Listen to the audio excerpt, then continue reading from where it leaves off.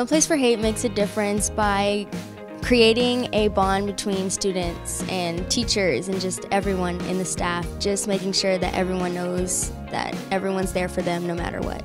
No Place for Hate makes my campus a more friendly and enjoyable place. More students get to learn about diversity.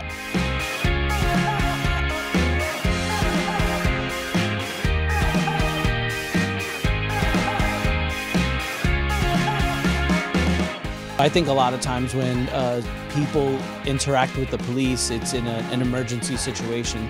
So when we get to have this interaction every year, uh, the kids get to see that we're humans, we care about the community, and I think it really builds a better feeling and, and uh, camaraderie between the students and the police officers.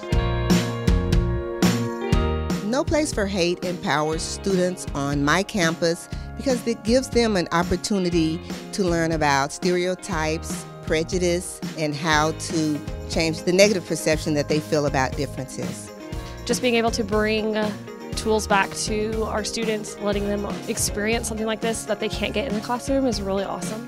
I hope to bring the message that it's okay to be who you want to be and that those who those who want to put you down for that that it's okay to stand up for yourself have confidence be who you are i think just being there for them and supporting them is just what an ally is i can be an ally by knowing what to do in order to make people feel better and to empower them Thank you, ADL. Thank you, ADL. Thank you, ADL. Thank you, ADL. Thank you, Anti Defamation League.